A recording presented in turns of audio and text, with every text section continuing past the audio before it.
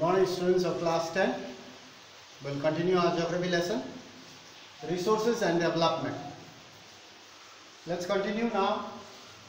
Resource planning in India. Some more are there in this uh, topic. First we'll talk about ABCDE. Then we'll talk more about it. So resource planning in India includes India had made great effort for achieving the goal of resource planning right from the first five-year plan after independence. So India made a great India made great efforts for resource planning after independence from the first five-year plan because we know that resources were exploited by the colonizers and most of the resources were gone. So now India had nothing left. So resource planning was very very important and the government made great efforts. Great effort for achieving the goal of resource planning right from the first five year plan. So now we'll talk about resources. Number B, resource is a necessary condition for development but without technology and institution it becomes difficult for development or becomes sometimes the development becomes very slow. Having resources is not sufficient. We must have the technology. Since after independence, we didn't have that much technology. So, resources and technology should go hand in hand. Without technology, development will be very slow or sometimes it is quite impossible. Resources are not equally distributed in, in India. We know that in India resources are not equally distributed. In some areas they have rich forest resource but whereas in other areas there are no forest. Some areas are rich in minerals but other areas are not. So India has got abundant resources but it was not equally distributed. So that means planning must be done. So resources are not equally distributed in India. Some regions are rich in resources. Some regions are rich in resources such as South India, Deccan Plateau regions.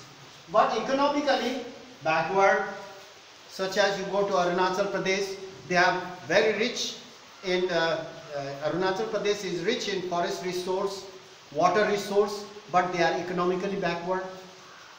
On the other hand, some regions have poor resources.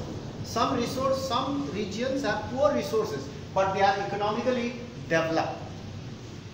So, for, example, you go to Punjab, Haryana, there you will not find any minerals or other resources, but they have land resource. So naturally they grow crops and they are economically well set up. So economically developed. So in this way variations are there in India. We can look at the history also. The history of colonization reveals or tells or exposes that rich resources in colonies were the main attraction for colonizers. Why the Europeans colonized all over uh, the world? Because of the resources they used up all the resources during industrial revolution and they require more resources to run their factories and they look out for resources all around the world and later on they colonized.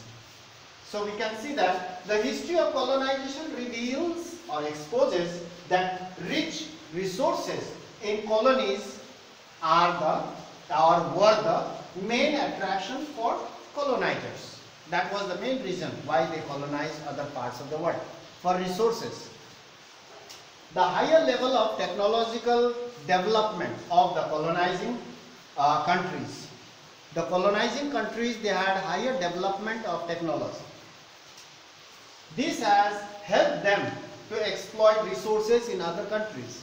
So you, by reading and by looking at this, it is very clear that having resources is not enough you must have the technology. Technology should be accompanied by uh, resources and resources and technology should go hand in hand. Then only development takes place. Without technology, development will become very slow or sometimes it is quite difficult for a country to develop. So you can see that by looking at this now, what India is doing for all this development of resources. We'll talk about in our next classes. It has not finished. Resource planning in India, more are there. So in our next class we will do that and uh, I'd like to suggest you that you should uh, keep on studying at home. So not waste your time. Regular hours of study is necessary at home and uh, you can copy this out, go through this book that's all for today and we'll meet in the next class and continue our resource planning in India. More are there. So this much for today. We'll meet in the next class. Thank you for watching the video. That's all for today.